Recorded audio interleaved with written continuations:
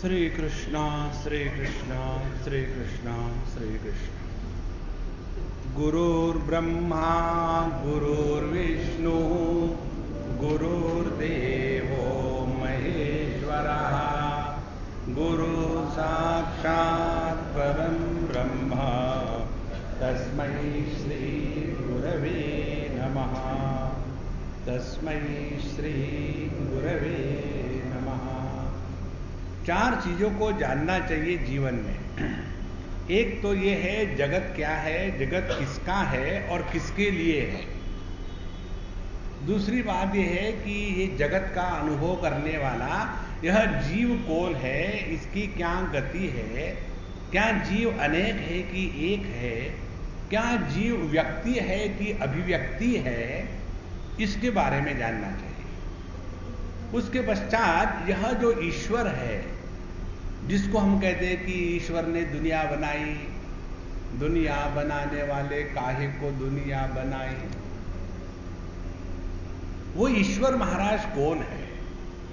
और यह जो जीव जगत ईश्वर, इनकी जो वन डे इंटरनेशनल चल रही है, ये किस ग्राउंड पर चल रही है? देखो क्रिकेट मैच में क्या होता है? एक तो होती है बॉलिंग करने वाली टीम फील्डिंग दूसरी होती है बैटिंग करने वाली. और तीसरे होते हैं अंपायर आउट होता है हमेशा बैट्समैन फील्डर कभी आउट नहीं होता है. बैट्समैन और बॉलर कभी आउट नहीं होता. और अंपायर भी कभी आउट नहीं होता. तो ये जो जीव की टीम है ये बैटिंग कर रही है। ये जो जगत है, ये बॉलिंग कर रहा है। और ईश्वर क्या है? वो अंपायर है। चौका मारा तो बताया एप्रिसिएट नहीं किया। छक्का मारा तो बताया एप्रिसिएट नहीं किया। प्रॉपर लेंथ का बॉलिंग किया तो एप्रिसिएट नहीं किया। लेकिन यदि वाइड वाइड बॉल डाला तो गलत है। नो बॉल डाला तो गलत है। एलबीडब्ल्यू है तो गलत है।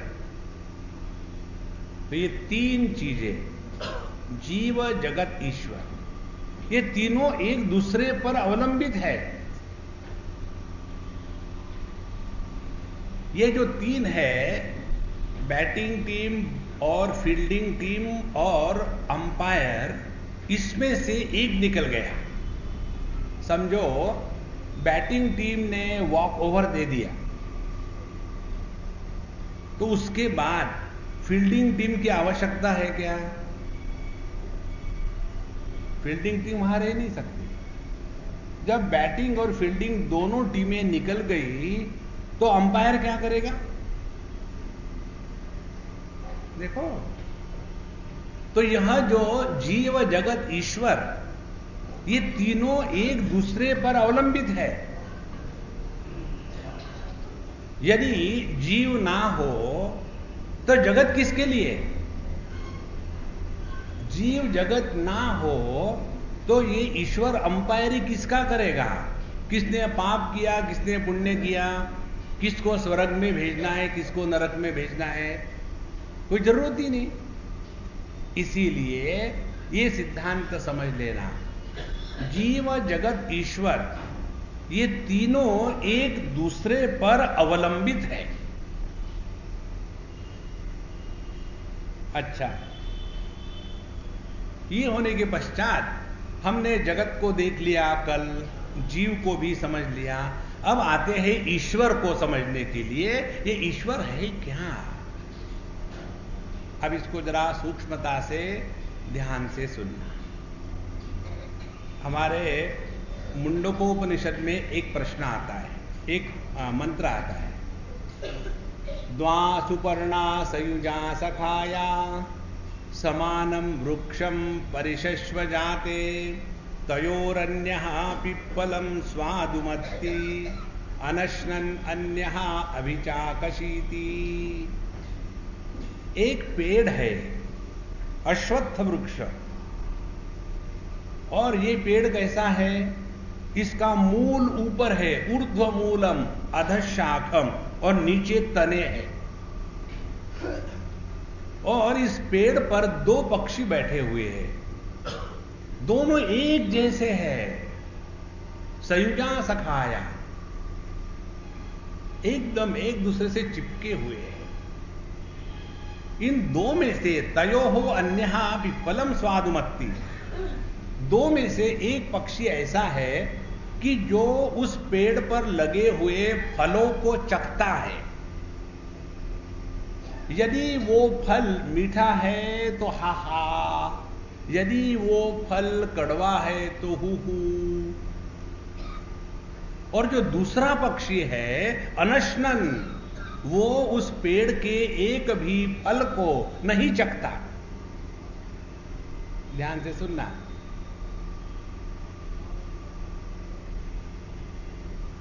ये इतनी सहज और सरल बात है संतो।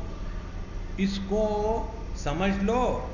तो साधना क्या करनी है, ये प्रश्न आप किसी से नहीं पूछोगे। देख लेना। चैतन्य की अभिव्यक्ति देह के माध्यम से मन के रूप में हुई और देह सजीव बन गया।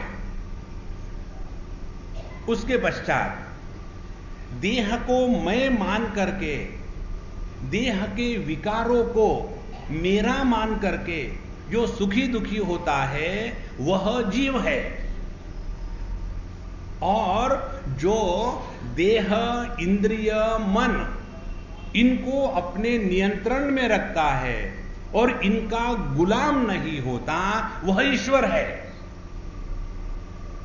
देखो, माने जब हम अपने उपाधि के द्वारा प्रभावित नहीं होते, तब हमने, हम में ऐश्वर्य प्रकट होता है। जब हम इंद्रियों के गुलाम हैं तो भोग के लिए दौड़ेंगे। जब इंद्रियों के स्वामी है तो भोग के लिए नहीं दौड़ेंगे। जब हम मन के गुलाम है तो सेक्रेटरिस्ट के पास जाएँगे। और जब हम मन के स्वामी हैं तो यही मन हमारा नौकर बनेगा। देखो तस्मात्म इंद्रियाणी आदौ नियम्य भरतर्षभ पापमानम प्रजहीनम ज्ञान विज्ञान नाशनम इसीलिए तृतीय अध्याय में भगवान कहते हैं कि अर्जुन, साधना करना माने अपने इंद्रिय, अपना मन और अपनी बुद्धि, इन तीनों की गुलामी छोड़ देना यही अपना उद्धार है। उद्धरेद आत्मनात्मानम नात्मानम अवसादेत आत्मैव आत्मनो बंधु, आत्मैव रिपुरात्मना। हमको अपना उद्धार करना है। हम अपना उद्धार कब कर सकते हैं कि जब हमारे इंद्रिय मन बुद्धि हमारे नियंत्रण में है, वश में है तब। इसीलिए एक ही समय जीव और ईश्वर साथ साथ है। दो में से एक प्रकट होता है। यदि इंद्रिय मन बुद्धि इसका गुलाम प्रकट हो रहा है तो जीव प्रकट हो रहा है। और यदि इंद्रिय मन बुद्धि इनको नियंत्रण करने वाला नियंत्रक प्रकट हो रहा है तो ईश्वर प्रकट हो रहा है। देखो महाराज, ईश्वर पेड़ के ऊपर नहीं है।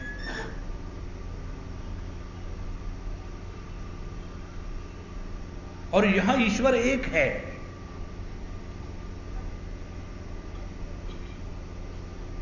यही ईश्वर है जिसके कारण हमारा खून हमारे नाड़ियों में दौड़ता है। यही ईश्वर है जिसके कारण हमारा डाइजेशन चल रहा है।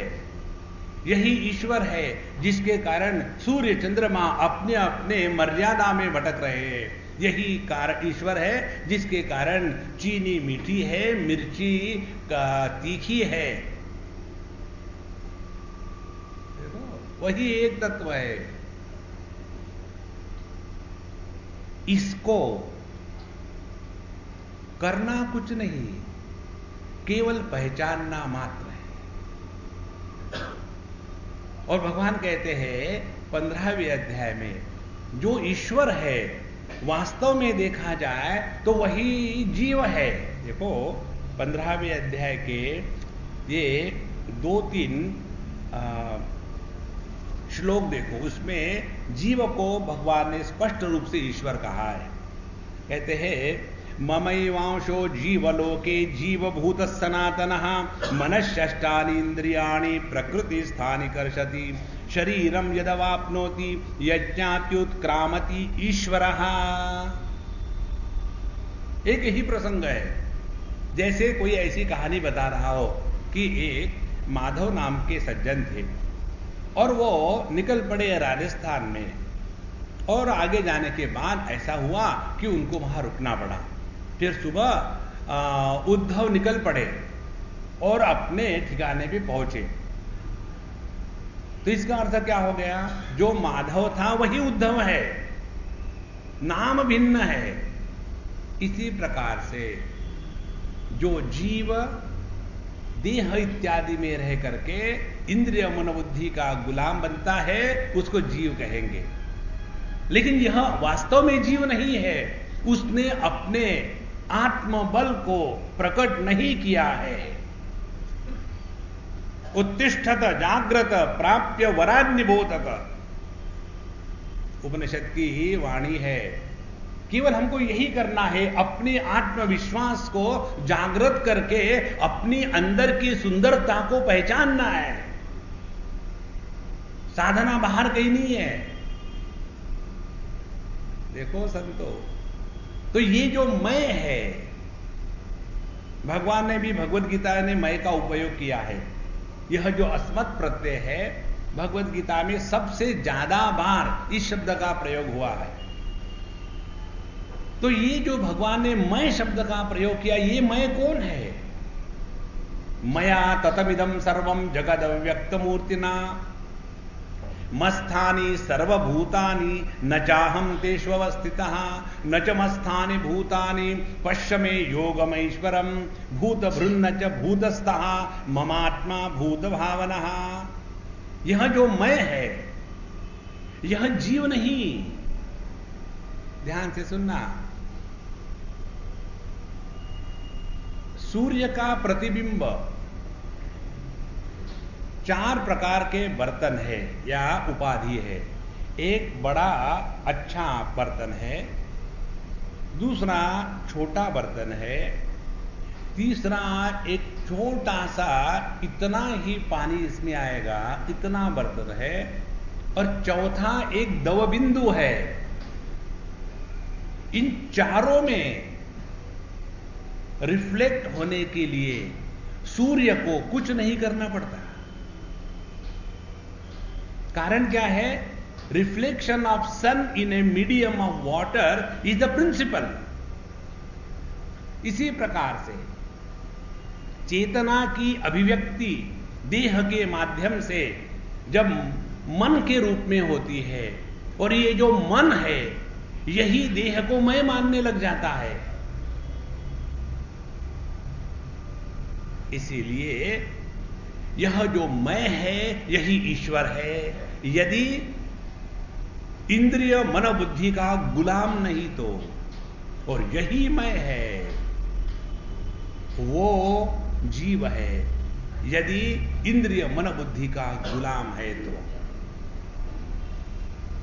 इसी को लेकर के भगवान कहते हैं, सातवें अध्याय में, एतद योनी भूतानि सर्वाणीत्युपधारय अहम कृष्णस्य जगत, प्रभव, प्रलयस्तथा। ये जो ईश्वर है अहम यही संपूर्ण जगत का निर्माण करने वाला और उसका लय करने वाला। ध्यान से सुनना। जब हम सुबह नींद से उठते हैं तो क्या होता है? बीबी डांटती है बच्चे रोते हैं, अरे डंबो, जरा थोड़ा सूक्ष्मता से विचार कर। जब हम नींद से उठते हैं, उस समय पहली बात होती है, देहात्म भाव जागृत हो जाता है। देह के साथ मन का तादात्म्य हो गया। देह आकारवान है। और जब हमारे मन का तादात्म्य एक देह के साथ हो गया तो वह मन उसी देह के संदर्भ से ही बोलेगा। वह मन उसी देह के संदर्भ में ही विचार करेगा। देखो, कितने बच्चे होते हैं, लेकिन जिस बच्चे के साथ अपना तादात्म्य है, ये मेरा बेटा है। तो कितने विचार आते हैं उसके बारे में? और कोई दूसरा बच्चा हो, मेरा ना हो तो फिर हम फिलासफर बनते हैं। समझो किसी का बच्चा फेल हो गया। कोई बात नहीं, जी तो होते ही आजकल फेल। कौन सभी बात थोड़ी होते हैं। कोई बात नहीं, कोई बात नहीं। और अपना बच्चा फेल हो गया तो ओहो, दानी स्वामी जी, क्या हमारे भाग्य है? आपके दर्शन हो गए। लेकिन हमारा लड़का फेल हो गया। देखो। इसीलिए ध्यान से सुनना। सुषुप्ति अवस्था में हमारे मन का तादात्म्य देह के साथ नहीं होता और इसीलिए सुषुप्ति अवस्था में हमारे मन का कोई आकार नहीं होता और क्योंकि कोई आकार नहीं होता, सुषुप्ति अवस्था में अन्य का भान नहीं होता।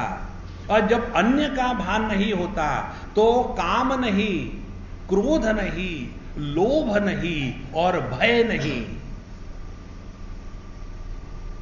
फिर जागृत अवस्था कैसी शुरू होती है? फिर ये जो मन है, फिर देह के आकार को धारण कर लेता है।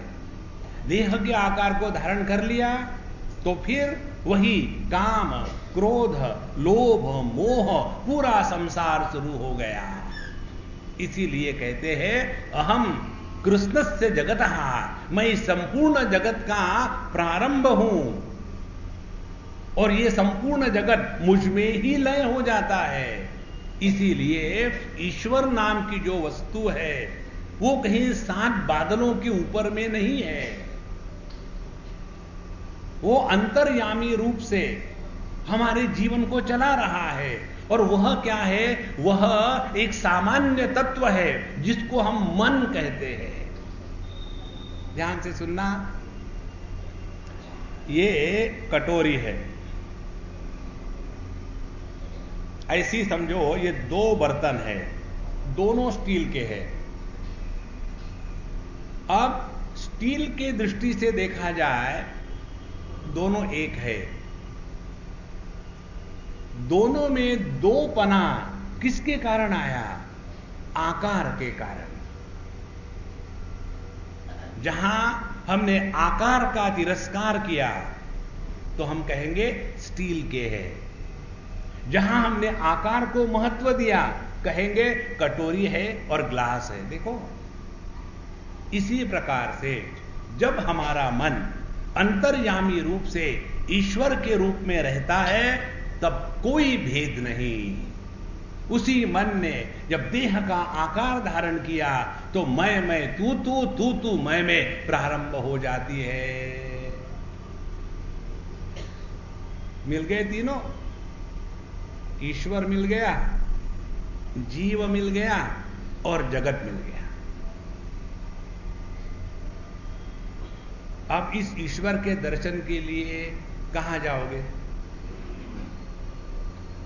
एक बार एक लड़के ने मुझे प्रश्न पूछा, अभी मैं बिट्स पिलाने में गया था।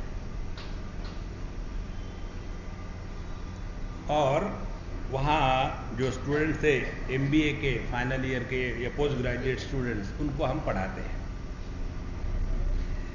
और लेक्चर के पश्चात एक लड़के ने प्रश्न पूछा जी हैव यू सीन गॉड आपने गॉड को देखा है? तो मैंने कहा कि मैं तुमको कहानी बता मेरी दो लड़कियाँ हैं। एक बड़ी, एक छोटी। बड़ी की शादी हो रही थी। चारों तरफ़ चकाचक। और छोटी है पाँच छह साल की, सात साल की। और वो बड़ी एक्साइट हो गई थी। क्या हो रहा है, क्या हो रहा है, क्या हो रहा है? इसने बाबा, ये क्या हो क्या रहा है? तुम्हारे बहन की शादी हो रही है। शादी माने क्या होता है? देखो, वो जो लड़का है ना, उसके साथ शादी हुई। माने क्या हुआ? अब देखो, शादी हुई ना, अब वो लड़का और तुम्हारी बहन जाएँगे और मौज करेंगे। अच्छा अच्छा। फिर दौड़ के आती है पापा पापा पापा क्या? हम लोग भी शादी कर लेंगे और हम लोग भी मौज करेंगे। ध्यान से सुनना। उस बच्ची को शादी करना माने क्या? ये यदि समझ में आता तो ये प्रश्न पूछती पापा से। तो शादी शब्द का अर्थ तो मालूम नहीं है और शादी करने जा रहे इसी प्रकार से have you seen God God शब्द का अर्थ मालूम है, है क्या पूछ रहे हैं? देखो जिन आँखों के द्वारा हम अपनी आँखों को नहीं देख सकते जिस मन के द्वारा हम अपने मन को समझ नहीं सकते जिस बुद्धि के द्वारा हम अपने बुद्धि को ग्रहण नहीं कर सकते तो ये जो इंद्रिय मन बुद्धि, इनके प्रेरक के रूप में, इनके पीछे जो चेतन सत्ता है, उसको हम देखना चाहते हैं। ये तो ऐसा ही है। कई बार कुत्ता जो होता है ना, अपनी दुम काटने के लिए टेढ़ा होके घूमता है घूमता है, नीचे गिर जाता है। देखो। इसलिए भैया, ये तीन चीज़ों को स्पष्ट समझ लेना। एक ही परमात्मा तत्व। उस परमात्मा की अनंत शक्ति, जिसको कहते हैं सांख्य में प्रकृति, वेदांत में माया और भक्ति में राधा। राधा जी का कृष्ण के साथ विवाह नहीं हुआ था। राम सीता के मंदिर है, राधा कृष्ण के मंदिर है। विवाह क्यों नहीं हुआ? इसलिए कि अग्नि का दाहिका शक्ति से विवाह कैसे हो सकता है? विवाह तो तब होगा ना, कि जब कोई अन्य होगा। परमात्मा की यह जो अनंत शक्ति है यह शक्ति जब अव्यक्त रहती है, तब उसको ईश्वर कहते हैं। और वही परमात्मा जब इस शक्ति को व्यक्त करता है, तब उसको जीव कहते हैं। ध्यान से सुनना। हर बार जब हम नींद का अनुभव लेते हैं, उस समय हम ईश्वर स्वरूप है।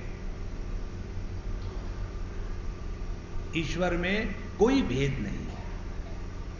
कोई अपना नहीं, कोई पराया नहीं, कोई यहाँ नहीं, कोई वहाँ नहीं, कोई आज नहीं, कोई कल नहीं।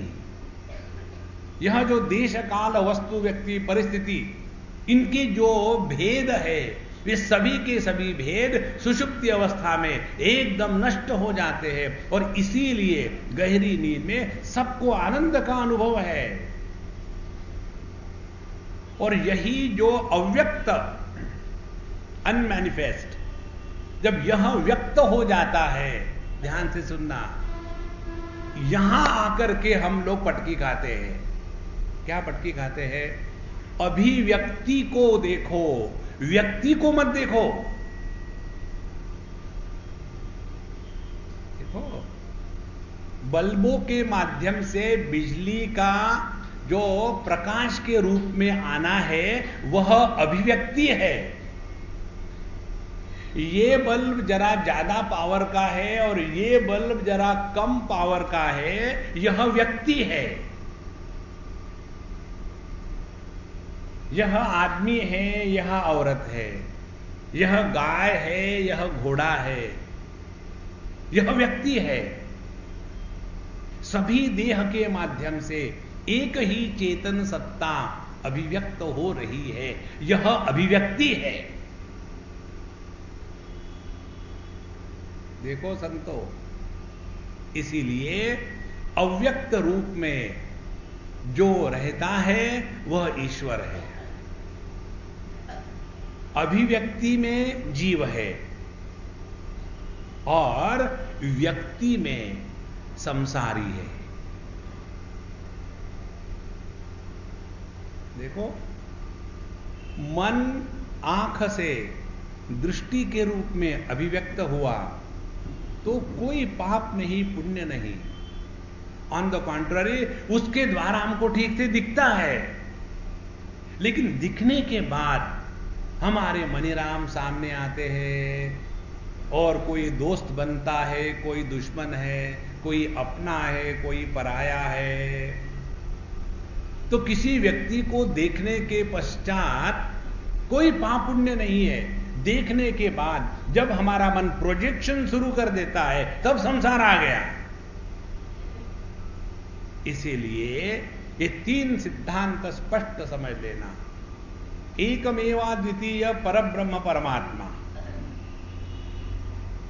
इस परमात्मा की जो अनंत शक्ति है, राधा कहो, सीता कहो शिव शक्ति कहो, या माया कहो, या प्रकृति कहो, अव्यक्त कहो, अव्याकृत कहो, ये एक ही है सब। यह जब अव्यक्त रहती है, परमात्मा प्लस अव्यक्त शक्ति, उसको ईश्वर कहेंगे। परमात्मा प्लस शक्ति की अभिव्यक्ति सत्ता के दृष्टि से जगत और ज्ञान के दृष्टि से जीव। और यह जीव जब प्रकृति का माने इंद्रिय मन बुद्धि, इनका गुलाम बनता है तो जीव है और मालिक है तो ईश्वर है। इस प्रकार से यह संपूर्ण तमाशा है। इसीलिए when candle burns. Nothing is lost. Matter cannot be destroyed. Energy cannot be created. Energy can be transformed. Tidal energy is transformed into electrical energy. Electrical energy is transformed into light energy electrical energy is transformed into magnetic energy because of which the fans move. इसी प्रकार से एक ही शक्ति देह के माध्यम से मन के एनर्जी के रूप में अभिव्यक्त होती है। Transformation of energy is not the creation of energy और वही जो माइंड एनर्जी है, वही आँखों के रूप से प्रकट हो गई तो उसी को दृष्टि एनर्जी कहेंगे। देखो, इसीलिए ये जो जीव जगत ईश्वर है, ये एनर्जी और मैटर इन दोनों का गेम अनंत काल से चल रहा है।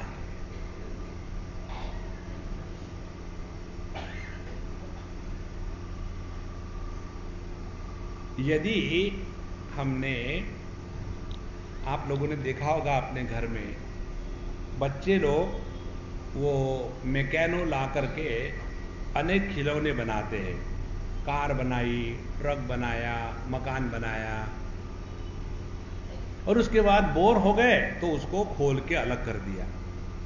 तो नष्ट क्या हुआ? कुछ भी नहीं। क्योंकि सभी के सभी पुर्जे ज्यों के त्यों हैं।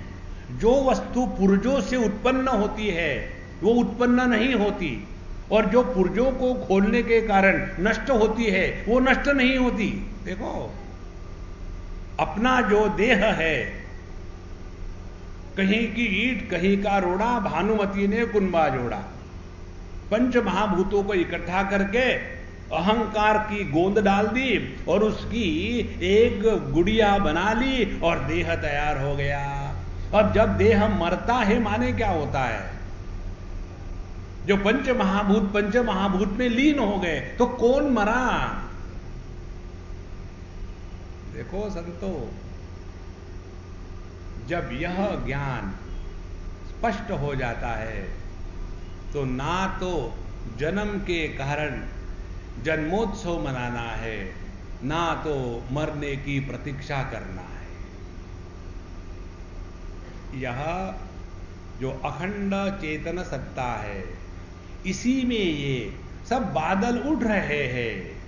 सदानंदे चिदाकाशे, माया मेघस्तडिन मनः अहंता गर्जनम तत्र धारासारो ही यत्तमः महामोहांधकारेस्मिन् देवो वर्षति लीलया। अस्मिन् वृष्टेः विरामाय प्रबोध एक समीरण। भगवान शंकराचार्य कहते हैं, इस चिदाकाश में जो सच्चिदानंद आकाश है, उसमें माया नाम का एक बादल आ गया। और उस बादल में मन नाम की एक बिजली कड़क गई। और मन नाम की बिजली कड़की तो आवाज़ आई, अहंता गर्जनम तत्र, वहाँ मैं पैदा हुआ। और ये जब मैं पैदा होता है, कुछ ना कुछ करना है करना है, यहाँ तक के, कि हम मेडिटेशन करते हैं। मेडिटेशन करना, इससे बड़ी बेवकूफ़ी दुनिया में और कोई नहीं है। मेडिटेशन होता है, करते नहीं। जैसे प्यार किया नहीं जाता, होता है। नहीं let is go and do प्यार। एक कटोरी में प्याज को काट के रखना दूसरे कटोरी में तुम्हारे दिमाग को काट के रखना। तड़का देना, प्यार हो गया। देखो। इसको ठीक से समझ लेना संतो। इसीलिए जब तक कि मुझे कुछ करना है करना है करना है, ये रोग है ना, तब तक के दुखी है। हमें मैं से मुक्त होना है। मैं को, कोई भी मुक्त नहीं कर सकता। और जितनी आपकी साधना है, कर्म लो, उपासना लो, योगा लो, ये सब मैं को मुक्त करने के साधन है और 100 परसेंट फेल्यूर है। देखो, योगी लो, तपस्वी लो, कितना क्रोध, शाप देंगे, आशीर्वाद देंगे, ये शाप, आशीर्वाद केवल द्वैत की दुर्गंध है। इसीलिए यह जो जीव जगत ईश्वर, ये केवल चिदाकाश में उड़े हुए बादल है और चमकी हुई बिजली है और उसकी आवाज़ है मैं। देखो। तो इस कर्म के कारण जो हम और अपने आप को दबा के रखते हैं, इससे हटने के लिए एक ही उपाय है। वो कौन सा उपाय है? एक ज़ोर से आंधी आ जाए, तूफ़ान आ जाए और सभी बादलों को ले जावे। और वो तूफ़ान क्या है? प्रबोध एक समीरणा। समीरणा माने वायु। ऐसी ज़ोर से वायु बहने लगी और वो वायु है प्रबोध, अपने स्वरूप का ज्ञान।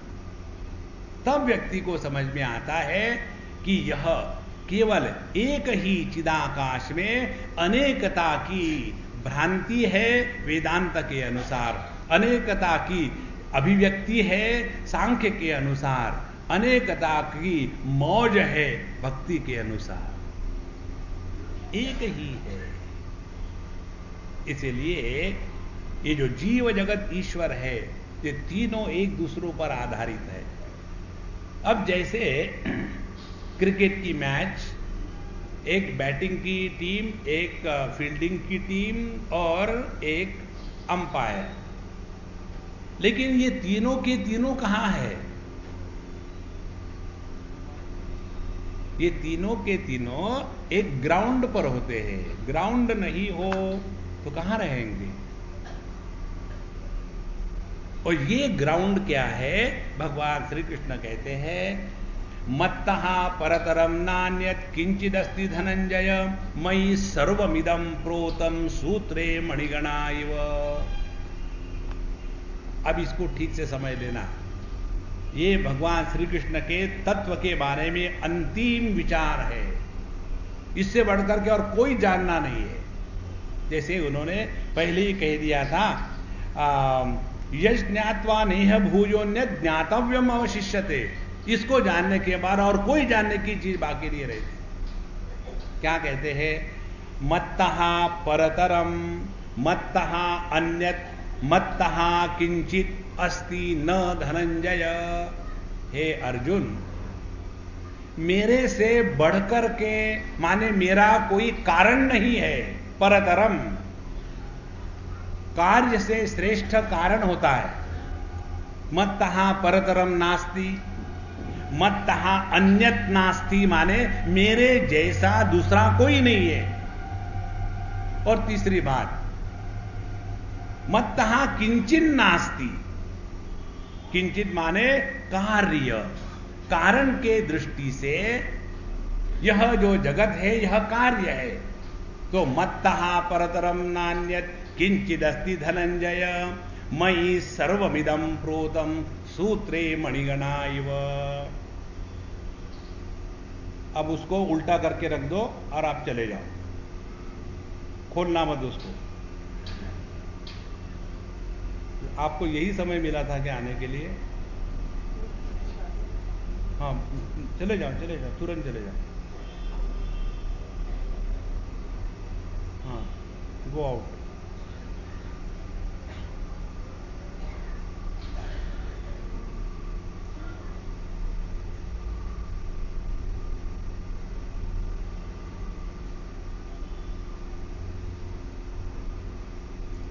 मत्तहा परतरम नान्य किंचित अस्ति धनंजय मई सर्वमिदम प्रोतम सूत्रे मणिगणा कारण श्रेष्ठ है, कार्य कनिष्ठ है। भगवान कहते हैं, मेरा कोई कारण नहीं, मेरे जैसा कोई नहीं, और मेरे द्वारा निर्माण कोई कार्य नहीं। देखो। यह कार्य कारण परमात्मा में अध्यारोपित केवल भ्रांति है। ठीक से समझ लेना इसको संतो। एकदम गुरु नानक देव कहते हैं ना, चढ़ जाती है। फिर उतरेगी नहीं कभी। देखो, पानी, समुंदर, लहरें। हम जाकर के लहरों में खेलते हैं सर्फिंग करते हैं। और समुंदर में कूदते हैं। और एक बार हम जाकर के पानी से मिले। हमने कहा, भाई, पानी महाराज समुंदर के रूप में आप बड़े डरावने हो, डरने, डूबने का डर लगता है। लहरों के रूप में आप बड़े अच्छे हो। तो पानी ने कहा, माफ़ करना महात्मा जी, ये समुंदर किसको कहते हैं? और ये लहरें किसको कहते हैं? मैंने तो आज तक ना समुंदर देखा है, ना लहरें देखी है। हम जब लहरों से खेलते हैं, तब पानी को ही स्पर्श करते हैं। जब हम समुद्र में कूदते हैं तो पानी में ही कूदते हैं। तो हमने क्या किया? पानी को दो गालियाँ दी। एक गाली है समुंदर, दूसरी गाली है लहर। और फिर कह दिया, जो समुंदर है, वो है कारण और लहरें है कार्य। पानी पर समुंदर और लहर, ये दो शब्द अध्यारोपित किए गए हैं। इसी प्रकार से एक ही परमात्मा इसमें कार्य कारण अध्यारोपित किया है। और इसीलिए जब तक हमारे दिमाग में ये क्यों क्यों क्यों चलता है ना, तब तक के प्रभु का दर्शन नहीं होता। और इस क्यों को निकालने के लिए भक्ति में कहते हैं शरणागति और वेदांत में कहते हैं अपनी पहचान, दोनों का अर्थ एक ही है। शरणागति में जब परिच्छिन्न मैं नहीं रहता तो वो प्रकट हो जाता है। और वेदांत में जब हम अपने स्वरूप को पहचानते हैं तो वो अपने से भिन्न नहीं रहता। देखो, बात एक ही है।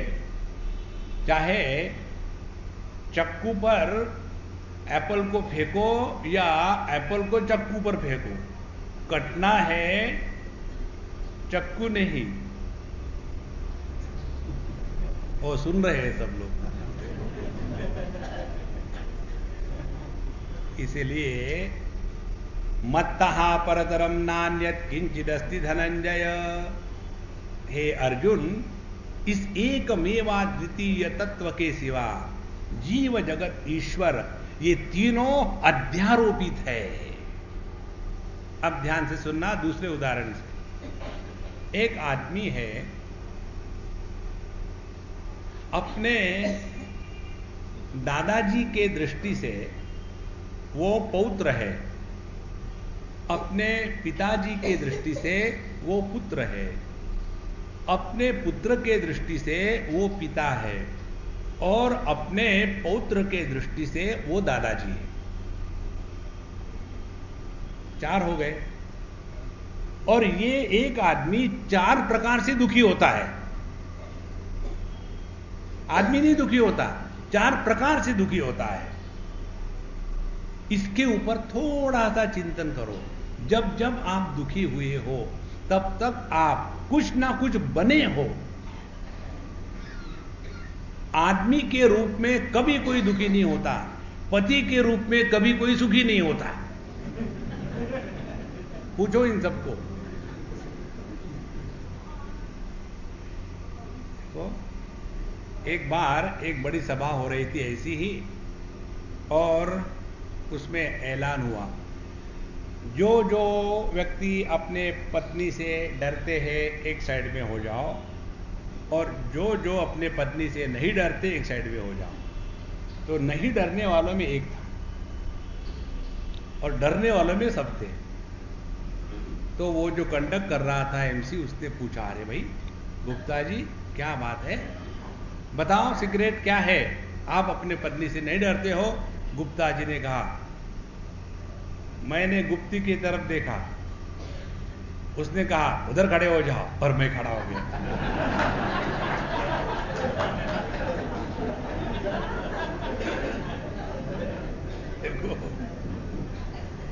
बिल्कुल नहीं डरते हो। औपाधिक अभिव्यक्ति संसार है। निरुपाधिक अस्तित्व परमात्मा। इसीलिए जितनी साधना है, अपने में विशेषता निर्माण नहीं करनी है। सब विशेषता को निकाल डालना है। कितनी विशेषता का बोझा हमारे सर पर है। हम पुरुष है, हम स्त्री है, हम जवान है, हम बूढ़े हैं, हम ब्यूटीफुल है, हम ऑफुल है, हम पढ़े लिखे हैं, हम अनपढ़ है। हमको अंग्रेज़ी आती है, हमको अंग्रेज़ी नहीं आती। हम पंजाबी है, हम गुजराती है, हम हिंदू है, हम मुसलमान है, बोझे की कोई लिमिट नहीं है। और मानो, ये बोझा कम हो गया, एक बोझा और चढ़ा लिया। आजकल मैं स्पिरिचुअल बन गया हूँ। देखो महाराज यही तो चक्कर है। एक ही चेतन सत्ता पर। सत्ता के उपाधि से जगत होता है। मन की उपाधि से जीव होता है। समष्टि की उपाधि से ईश्वर होता है। लेकिन जीव जगत ईश्वर, ये सब के सब औपाधिक है। इस उपाधि को धारण करने वाला कौन है? देखो। तो जैसे एक ही आदमी अपने दादा के उपाधि से पौत्र बन गया, अपने पिता के उपाधि से पुत्र बन गया इत्यादि, इसी प्रकार से एक ही अखंड तत्व इस जीव जगत ईश्वर की उपाधि से मानो अनेक हो गया है। यही भगवान बात कहते हैं, मत्तहा परतरम मत्तहा अन्यत, मत्तहा किंचित नास्ति परंतप फिर सवाल यह है कि ये पूरे दुनिया का क्या हाल है? कैसे ये अनेकता निर्माण हुई? भगवान कहते हैं, जिस प्रकार से सूत्रे मणिगणा इव। जैसे सोने के मणियों की माला अपने गले में लटकी हो। उसको क्या कहते हैं? नेकलेस। माने जहाँ नेक नहीं है, नेकलेस। उसमें मणि बने हैं सुवर्ण के। और उसमें जो धागा है, वो भी सुवर्ण का है। तो वही सुवर्ण आधार बना और वही सुवर्ण आधेय बना। देखो। तो यह जो धागा और मणि, इनको लेकर के हमने एक माला बनाई, एक तीसरी कल्पना और निर्माण कर दी।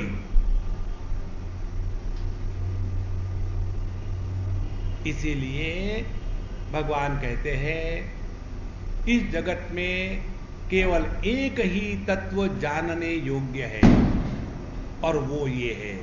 मत्तहा परतरम नान्यत किंचित अस्ति धनंजय मई सर्वमिदम प्रोतम सूत्रे मणिगणा आप ध्यान से सुनना। हमारे आँखें या इंद्रिय हमेशा अन्य के बारे में ज्ञान ग्रहण कर सकते हैं। हमारा मन हमेशा अन्य के बारे में सोच सकता है। इसी मन को जब उसके बारे में सोचने को कहो तो मन गायब। और ये पूरी जो दुनिया है, ये इसी मन का प्रक्षेपण है। और जो भी हमको दिखता है, ध्यान से सुनना, हमको नहीं दिखता।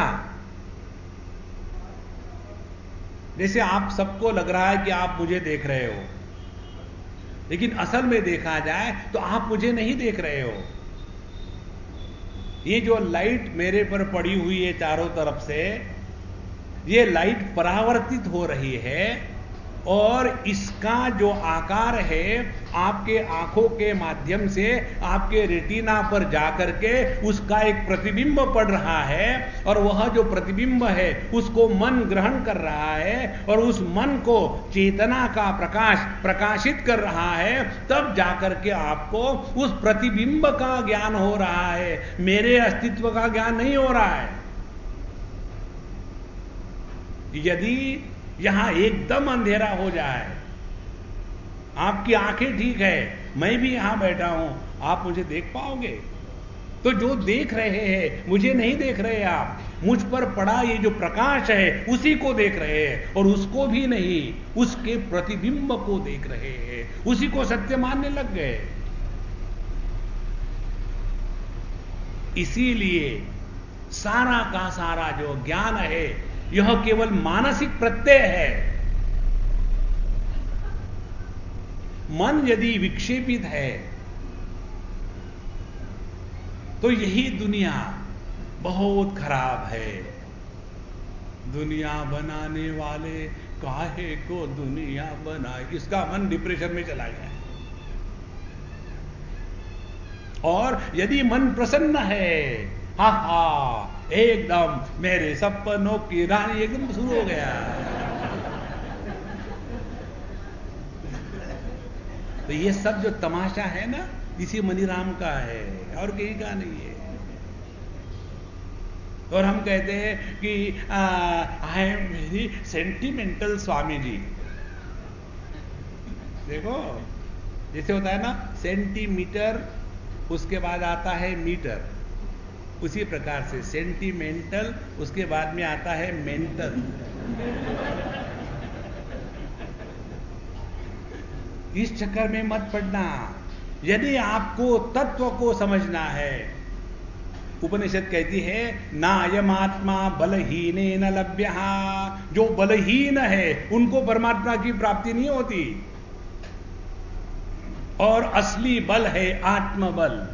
और आत्मबल क्या है? अपने इंद्रिय मन बुद्धि को पूर्ण वश में किया और किसी की गुलामी नहीं, तब जाकर के तत्व का दर्शन होता है। इस प्रकार से इस अध्याय में संपूर्ण जो कुछ बताना था, बता दिया। असल में देखा जाए तो ये सातवां अध्याय इस सातवें श्लोक के बाद पूरा हो जाता है। और क्या जानना है? एक भगवान के भगत थे, वो गीता जी का पाठ करने लग जाते थे। और पाठ करते करते एक श्लोक पर आके रुक गए। एक दिन हुआ, दूसरे दिन हुआ, तीसरे दिन हुआ। तो ऐसा जब हुआ तो वहाँ के जो पंडित जी थे, उसको गुस्सा करने लगे। पता नहीं कहाँ से भगत टपक के पढ़ते हैं। पूरा तो गीता कभी पढ़ते नहीं। दो चार श्लोक पढ़ लिए और बैठे दिन भर यहाँ। तो उस भगत ने कहा, देखो पंडित जी महाराज, क्या है, जब मैं पढ़ता हूँ ना, पहला श्लोक से शुरू करता हूँ।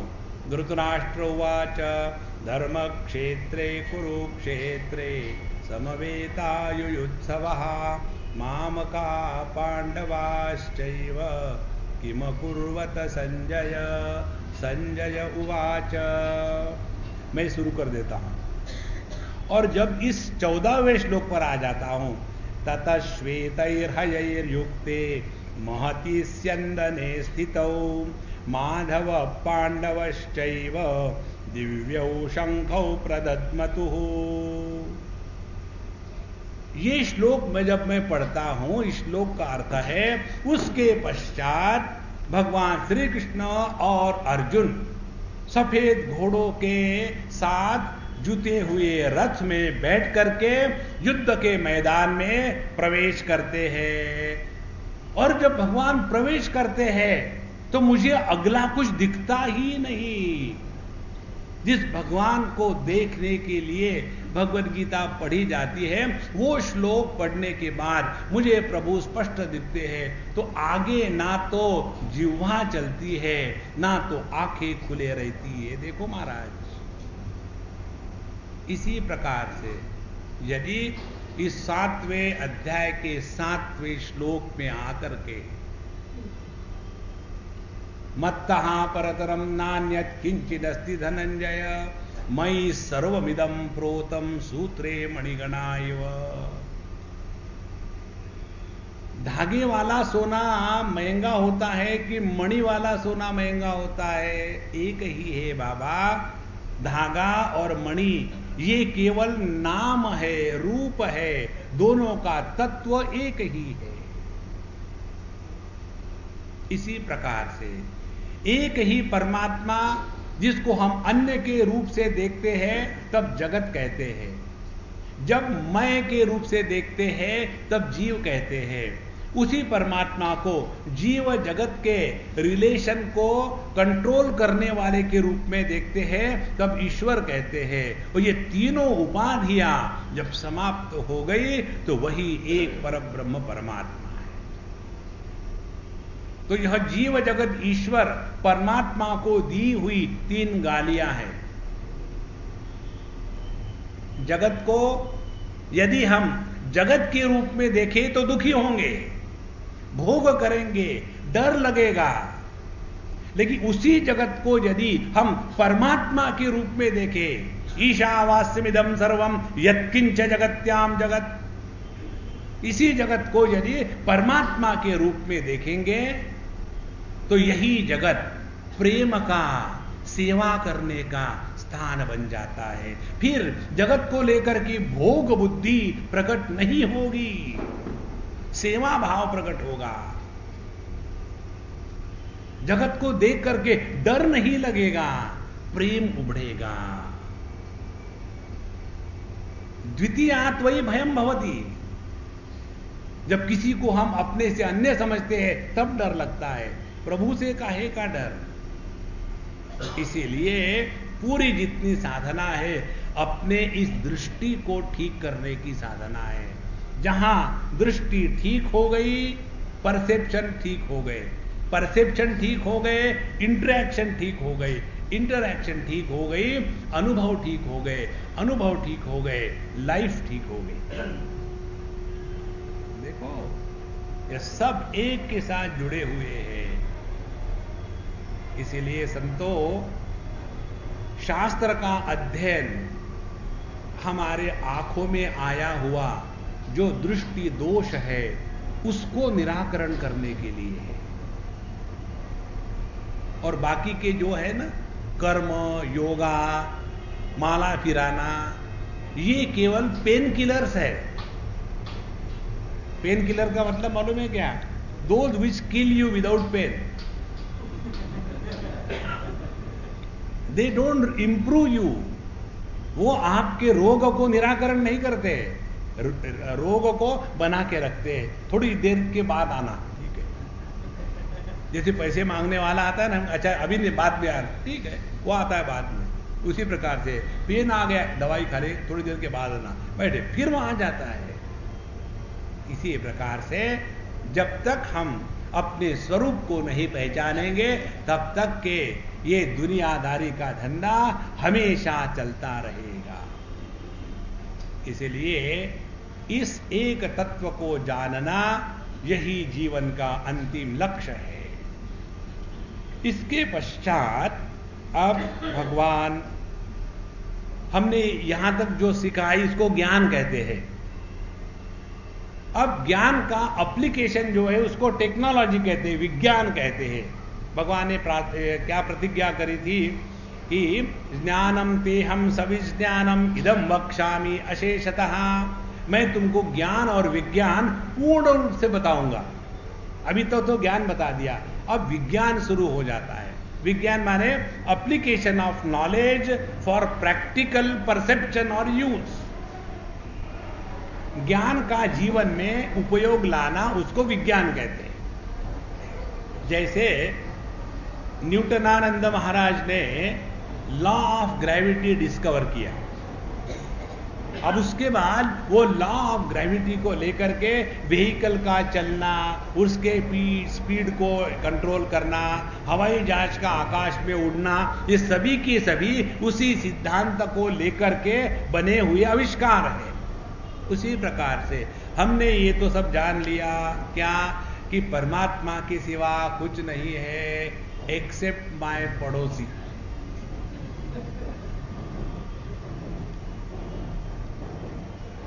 तो हमने कुछ नहीं समझा, कुछ नहीं जाना। देखो, सत्य में या पूर्ण में फ्रैक्शंस नहीं होते। जो फ्रैक्शंस हो गए, वो कल्पना होगी। जैसे, समझ लो पहले अपने एक रुपए के चौसठ पैसे होते थे। और जब भारत तरक्की कर गया तो एक रुपए के सौ पैसे होने लग गए। तो चाहे एक रुपए को चौसठ में बांटो या सौ में बांटो, ये केवल कल्पना है। अनंत में अंश की कल्पना होती है। अनंत का अंश नहीं होता। Summation of the finite attributes is not equivalent to the infinite देखो, जैसे आकाश अनंत है, उसमें पूर्व, पश्चिम, उत्तर, दक्षिण, यह औपाधिक प्रतीति है। और औपाधिक प्रतीति भले उपयोग में आवे, लेकिन सत्य नहीं होती, सत्य आकाश है। तो यह जो ज्ञान है इसको अब हमको अपने जीवन में उतारना है। इसको उतारने के लिए अब यहाँ भगवान हमको पंद्रह उदाहरण देते हैं। देखो, एक बार ऐसा हुआ, स्कूल में पढ़ा रहे थे टीचर, बच्चों को गणित। देखो बच्चों, मैं आपको पढ़ा रहा हूँ, ठीक से समझ लेना, फिर होमवर्क दूँगा, कल करके लाना। ठीक है गुरु जी और टीचर ने पढ़ाना शुरू कर दिया। One plus one is equal to two एक जमा एक माने दो। दूसरा उदाहरण। ग्यारह जमा ग्यारह माने बाईस। समझ में आ गया? हाँ जी। तीसरा उदाहरण। 111 जमा 111 माने 222 समझ में आ गया? हाँ जी 1111 जमा 1111 2222 समझ में आ गया? आ गया। होमवर्क ले लो। Seven plus nine, twenty eight plus fifteen three hundred and ninety eight plus nine hundred and thirty three, four thousand two hundred and fifty plus five thousand two hundred and one. दे दिए example दूसरे दिन एक लड़के ने कुछ भी नहीं किया था। क्यों नहीं किया तुमने? सर, सिंपल सिंपल उदाहरण तो आपने कर लिए। डिफ़िकल्ट हमको दिए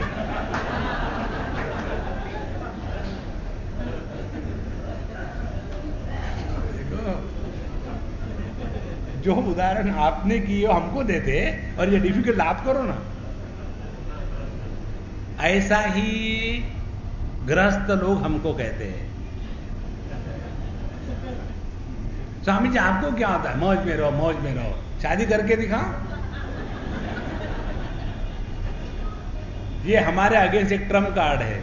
माने शादी करने के बाद दुखी होने का लाइसेंस है तो हो जाओ दुखी। Nobody can stop you इसीलिए ये पंद्रह उदाहरण है। इन उदाहरणों को समझे। इसको समझने के बाद पूरे ज़िंदगी भर होमवर्क करना है। अब क्या है उदाहरण ये? आठवें श्लोक से शुरू करते हैं।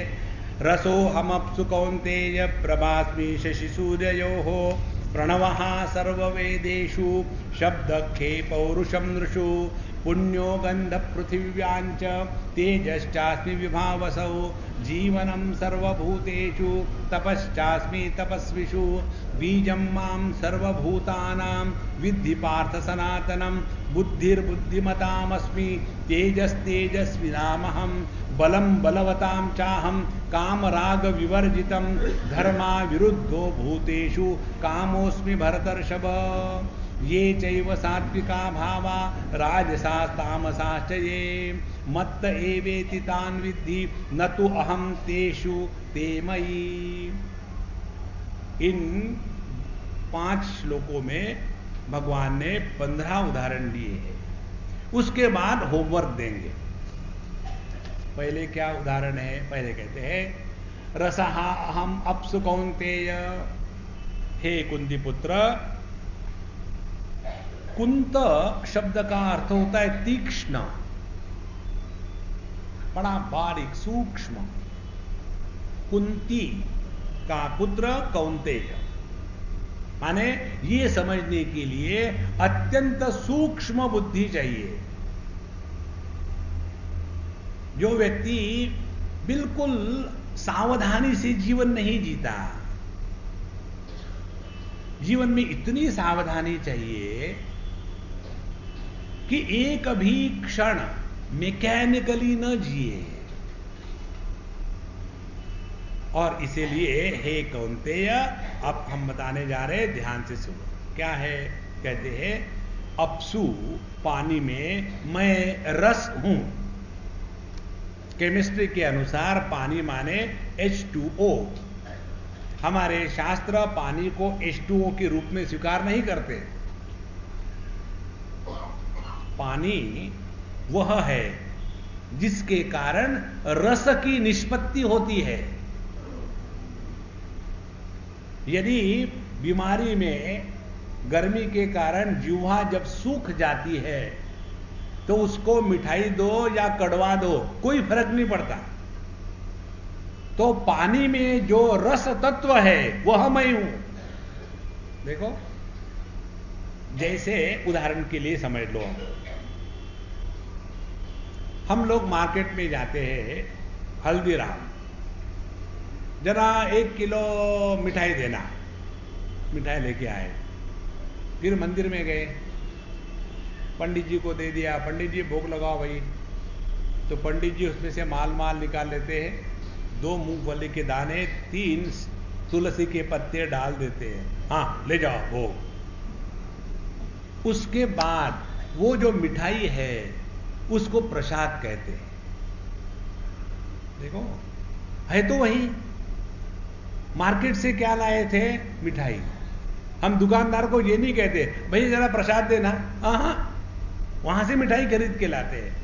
मिठाई को प्रसाद कैसे बनाया? समझदारी के द्वारा। और जब मिठाई को हम कहते, मिठाई खाओ जी, नहीं जी, मैं शुगर नहीं खाता हूँ, जरा मोटा हो रहा हूँ। इसीलिए डॉक्टर ने कहा मिठाई मत खाना। लेकिन देखो जी, ये तो तिरुपति का प्रसाद है जी। अच्छा कोई बात नहीं, थोड़ा सा खा ले माने, मिठाई को हम तिरस्कृत कर सकते हैं, लेकिन प्रसाद का हम आदर करते हैं। इसी प्रकार से इस जगत में नाम रूप को लेकर के हम भले तिरस्कार कर दे, लेकिन उस नाम रूप के पीछे जो एक तत्व है, उसके तरफ़ यदि हमारा ध्यान गया तो हमारे लिए ना कोई दोस्त है, ना कोई दुश्मन है। देखो महाराज, ये इसको कहते हैं आध्यात्मिक चिंतन। ये चिंतन ने स्वामी जी मेरे कमर में दर्द क्यों होता है? मेरे घुटने में दर्द क्यों होता है? मेरी बहू ऐसी क्यों है? ये आध्यात्मिक नहीं है। या स्वामी जी, आप हाथ देखते हो क्या? नहीं जी, हाथ देखता नहीं, दिखाता हूँ। कब तक के इस चक्कर में फंसे रहेंगे? और ऐसे जो फंसते हैं ना बाबा जी के चक्कर में कोई बात नहीं, तुम्हारा भला कर देंगे, ऐसी पूजा करो, वैसी पूजा करो, इतना ला करके मुझे दे दो, फिर सुखी हो जाओगे। एक दुख से हटे, दूसरे बाबा जी के साथ फंसे। देखो, आकाश से गिरे, खजूर पे लटके। इस चक्कर में मत पड़ना, पकड़ना है तो केवल कन्हैया को पकड़ो। बाकी सब ठीक है अपने स्थान। रसो हम अपसु हे कुंती पुत्र पानी में जो रस तत्व है, वह मैं हूँ। अब रस तत्व क्या है? मीठा, खट्टा, नमकीन, तीखा, ये अनेक भेद है। लेकिन इन सभी भेदों को यदि एक शब्द से कहना हो तो कहेंगे, यह रस तत्व है। रसो हम अपसु कौनतेय प्रभास्मी शशि सूर्य यो हो सूर्य चंद्रमा में जो प्रकाश है, वह मैं हूँ। उसके बाद कहते हैं प्रणव सर्व वेदेशु सभी वेदों का जो आत्मा है, प्रणव प्रणव माने ओम। सभी वेदों में जो ओम है, वह मैं हूँ। केवल प्रणवों का ओम या वेदों का ओम ही मैं नहीं हूँ। शब्द है इस आकाश में जो शब्द गुणधर्म है, वह भी मैं हूँ। देखो, इस प्रकार से भगवान यहाँ बताते हैं शब्द खे पौरुषम नृषु। और प्रत्येक व्यक्ति में परमात्मा के मार्ग पर चलने के लिए जो आत्मबल पौरुष लगता है, वह भी मैं हूँ। ध्यान से सुनना। इसीलिए हमने आपको कल बताया, जिसमें आत्मविश्वास होता है, उसी को परमात्मा में विश्वास है। जिस व्यक्ति को आत्मा में विश्वास नहीं है, उसको परमात्मा में भी विश्वास नहीं हो सकता। कई लोगों की ये धारणा है, नहीं जी, भक्ति तो उन लोगों के लिए जो कुछ कर नहीं सकते, इसलिए भगवान भगवान करते हैं। नहीं, भगवान के प्रति भक्ति समर्पण होना, यह आत्मविश्वास की पराकाष्ठा है। देखो, इसीलिए शब्द खे पौरुषम नुषु, पुण्यो गंध पृथिव्यांच जब गर्मी के बाद पहली बारिश आती है तो कितना सुगंध आता है। पुण्यो गंध पृथ्व्यांच, वहाँ मैं हूँ। तेजस चास्मी विभावसौ। अग्नि में जो तेज है, वह मैं हूँ। जीवनम सर्वभूतेषु। सभी प्राणी मात्र में जो जीवन है, वह मैं हूँ। देखो, हमने क्या कहा था आपको? सभी बल्बों में जो लाइट है, वो मैं हूँ। बिजली कह रही है। इसीलिए इस जगत को जब हम ध्यान से सुनना, भगवान के दृष्टि से देखेंगे ना तो आपको सबके साथ प्रेम होगा। जैसे प्रभु अपने दुनिया को देखते हैं, जैसे माँ बाप अपने बच्चों को देखते हैं। ये सब बातें जानने की, समझने की है। आज तक कितने माँ बाप हो गए, कितने बच्चे पैदा हो गए। लेकिन जब अपना बच्चा होता है, Swami ji don't you think my daughter is so sweet आज तक कितने पैदा हो गए, मरे। नहीं, मेरा बेटा, मेरी बेटी। अब यह जो मैं मैं है ना, अपने यूजलेस कबूतर को लेकर के, उसी प्रकार से, यदि हम इस संपूर्ण सृष्टि को अपना ले, कोई पराया नहीं। तो फिर आपको वैलेंटाइन डे में कार्ड भेजना नहीं पड़ेगा। आई लव यू देखो। वैलेंटाइन डे में मुझे एक एसएमएस आया था। Wednesday went to Thursday and told Friday on Saturday that Sunday knows on Tuesday there is a Valentine Day. Happy Valentine Day.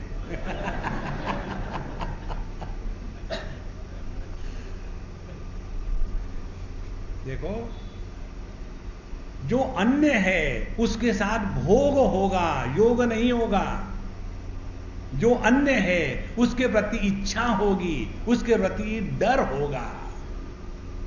इसीलिए इस अन्यत्व को निवारण करने के लिए भक्ति की साधना है, सब में परमात्मा को देखे।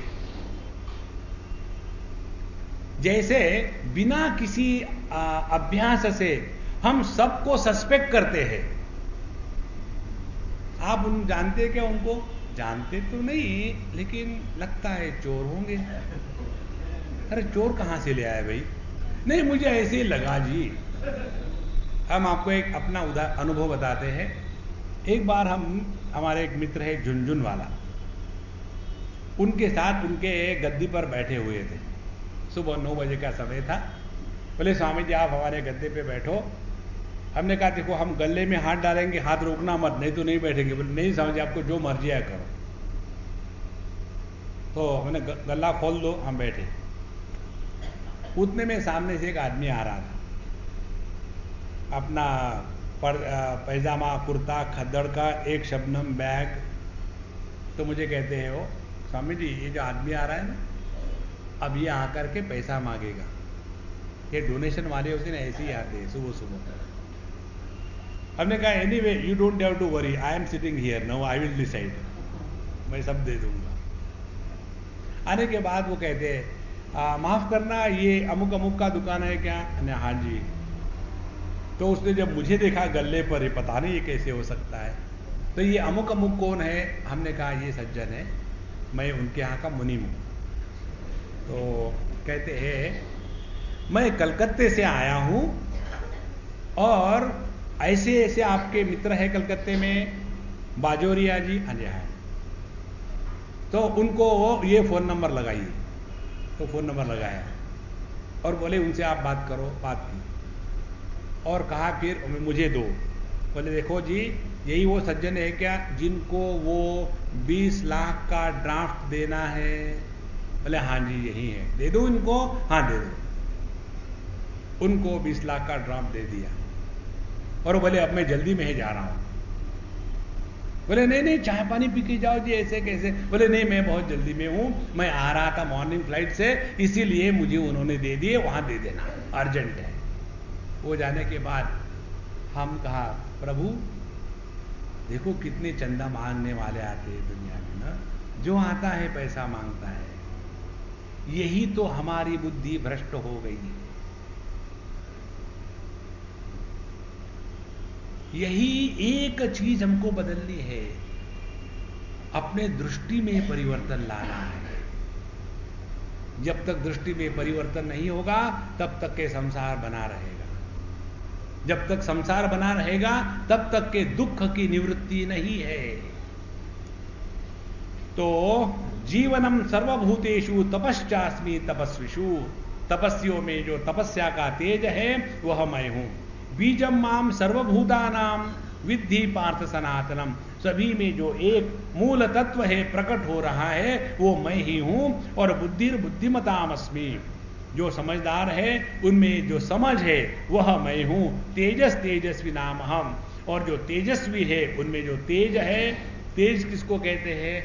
मेकअप वाला तेज नहीं है, जो फेडअप हो जाता है। तेज कहते हैं जब Mahatma Gandhi round table conference के लिए लंदन गए तो चर्चिल ने बताया था कि वो इंडिया का भिखारी जब आएगा तो उसको खड़ा होकर के रिसीव करने की कोई ज़रूरत नहीं। और अपने महात्मा गांधी फटीचर पहुँच गए वहाँ। वहाँ पहुँचने के बाद पहला व्यक्ति खड़ा होकर के उनको रिसीव करने वाला चर्चिल ही था। जब चर्चिल खड़ा हो गया, सब खड़े हो गए। इसको कहते तेज।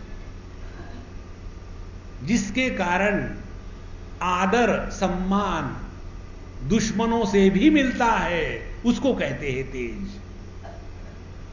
देखो, ये अपने अंदर की जो दैवी उपस्थिति है, उसका प्राकट्य है। तेजस तेजस्वी नाम हम और बलम बलवताम चाहम काम राग विवर्जितम और कामना रहित जो शक्ति है, वह मैं हूँ। देखो, हम में, सब में, प्रत्येक कार्य में दो शक्तियाँ कार्य करती है। एक शक्ति होती है परमात्मा की, और दूसरी होती है अपने कामना की। जैसे कई बार किसी को लकवा मार जाता है तो उस समय वो बोलना चाहता है, उसकी तो इच्छा है लेकिन परमात्मा की शक्ति वहाँ से हट गई है तो वो बोल नहीं सकता। माने, हम हाथ उठा रहे हैं नीचे कर रहे हैं, इसमें दो शक्तियाँ काम कर रही है। एक प्रभु की शक्ति, जिसके कारण ये संभव है, और एक दूसरी हमारी इच्छा कि हम हाथ को ऊपर नीचे करें। तो वह शक्ति, वह बल, जिसमें अपने स्वार्थ की कामना नहीं होती, वह मैं हूँ।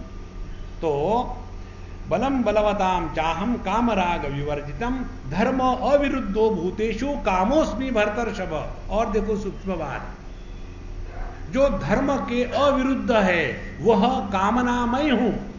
ध्यान से सुनना। मनुष्य के जीवन में खाने की, बैठने की, कपड़े पहनने की, भोग की, पैसा कमाने की, अपने को ठीक से रखने की कामना होना यह स्वाभाविक है। लेकिन वो कामना को जब हम पूरा करते हैं, धर्म के अनुसार तो वहाँ मैं प्रकट हो रहा हूँ। और यदि क्योंकि हम कुर्सी में बैठे हैं, इसीलिए सबका माल अपना माल ये बनाते हैं, वह भगवान की इच्छा नहीं है। इस प्रकार से अंतिम में जाकर के भगवान कहते हैं ये चैव सात्विका भावा राजसास्तामसाश्च ये, मत्त एवेति तान विद्धि न तो अहम तेषु ते मई तो इस जगत का यदि हम संपूर्ण रूप से वर्णन करें तो केवल तीन तत्व दिखते हैं। इस जगत में एक तो होता है द्रव्य, दूसरा होता है क्रिया, और तीसरा होता है ज्ञान। जैसे यह पुस्तक द्रव्य है। अपने में हाथ को हिला रहा हूँ, जबान को हिला रहा हूँ, बोल रहा हूँ यह है क्रिया। और इस पुस्तक में जो लिखा है, वो मुझे समझ में आया, वो है ज्ञान। इन तीन चीज़ों को मिलकर के जगत बनता है। भगवान कहते हैं, ये तीनों बातें जगत का जो द्रव्य है, जगत की जो क्रियाएँ है और जगत का जो ज्ञान है ये सभी के सभी मेरे कारण है। इसीलिए हमारे हिंदू धर्म में वस्तु में, पत्थरों में भगवान है, प्रत्येक क्रिया में भगवान है और प्रत्येक ज्ञान में भगवान है। हमारे यहाँ जो मूर्ति पूजा इत्यादि का सिद्धांत है ना, यह शास्त्र सम्मत है। इसको जब समझते नहीं तो दुराग्रही बन जाते हैं। देखो, हम कहते हैं, तिरंगा झंडा भारत का चिन्ह है। उसी प्रकार से शिवलिंग भगवान का चिन्ह है, ये गलत बात है। क्योंकि जब हम तिरंगे झंडे को स्पर्श करते हैं तो भारत को स्पर्श नहीं कर रहे लेकिन जब हम शिवलिंग को स्पर्श करते हैं तो साक्षात परमात्मा को स्पर्श कर रहे हैं। इसको समय देना संतो। जब ज़्यादा इंटेलिजेंट बनते हैं ना हम, तब हम कहते हैं, क्या शिवलिंग में पानी डाल दिया, दूध डाल दिया, देखो वो डिस्टिल वाटर डालना चाहिए, पता नहीं गंगा जी में ऐसे जो होते हैं ना सैनिटेशन इंस्पेक्टर उनको भगवान का दर्शन कभी नहीं होगा। इसलिए इस जगत में द्रव्य, क्रिया और ज्ञान, इस सभी के सभी मेरे कारण प्रकट हो रहे हैं, लेकिन उनके द्वारा मैं प्रभावित नहीं होता। अब इसको जरा ठीक से समझ लेना। हमने आँखें खोली, रूप रंग को देखा। रूप रंग के द्वारा आँखें प्रभावित नहीं होती। और इसी के कारण वही आँखें सभी रूप रंग को प्रकाशित कर रही है। इन आँखों के पीछे मन है। उस मन में अच्छे भी विचार आते हैं, बुरे भी विचार आते हैं। अच्छे बुरे विचारों से मन प्रभावित नहीं होता। और इसी के कारण मन में कोई भी विचार टिकता नहीं। और आगे चलो। वही चेतना जागृत को आधार देती है, स्वप्न को आधार देती है, सुषुप्ति को आधार देती है। इस चेतना में जागृत, स्वप्न, सुषुप्ति हमेशा आते जाते हैं, लेकिन यह चेतन सत्ता हमेशा ज्यो के त्यों है। यही भगवान कहते हैं। कि पानी के दृष्टि से ये वाक्य को पढ़ो तो पहले समुंदर कहेगा, सभी लहरें मुझमें है, लेकिन मैं लहरों में नहीं हूँ। कारण, लहरों का जन्म होता है, वो बढ़ती है, और एक समय में वो नष्ट हो जाती है। मैं समुंदर, ना तो कभी पैदा हुआ, ना तो कभी बढ़ा, ना तो कभी नष्ट हुआ। लेकिन मेरे सिवा उन लहरों का अस्तित्व नहीं है। उसी प्रकार से पानी कहेगा कि यह समुंदर और लहरें मुझमें है, लेकिन मैं उनमें नहीं हूँ। समुंदर पानी के सिवा नहीं रह सकता, लेकिन पानी समुंदर के सिवा एक गिलास में भी रह सकता है। यह जो स्वतंत्र, निरपेक्ष, चेतन सत्ता है, वह परमात्मा है और उसको हमको पहचानना है। ये है भगवान। देवी की जो प्रार्थना आती है ना, या देवी सर्वभूतेषु चेतनेत्यभिधीयते। नमस्तस्यै नमस्तस्यै नमस्तस्यै नमो नमः। या देवी सर्वभूतेषु मातृरूपेण संस्थिता। नमस्तस्यै नमस्तस्यै नमस्तस्यै नमो नमः। शाक्त जिसको देवी कहते हैं, वैष्णव जिसको राम कृष्ण कहते हैं वो एक ही तत्व है।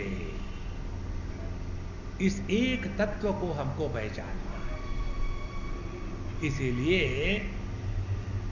ये चैव सात्विका भावा राजसास एवे तितान विद्धि। मेरे सिवा उनका अस्तित्व नहीं है, लेकिन उनके कारण मुझमें ना तो अनेकता आई, ना तो जड़त्व आया, ना तो मुझमें किसी प्रकार के दोष आए। यह जो निर्दोष, निरपेक्ष तत्व है, वह अपनी असलियत है, उसको पहुँच पहचानो और जैसे पानी समुद्र में डूबने को डरता नहीं और लहरों में टूटने से घबराता नहीं, इसी प्रकार से इस दुनिया में ना तो डर डर के रहना है, ना तो टूटने से घबराना है। ओम पूर्णमदः पूर्णमिदं पूर्णात् पूर्णमुदच्यते पूर्णस्य पूर्णमादाय पूर्णमेवावशिष्यते। ॐ शान्ति शान्ति शान्तिः। हरिः ओम्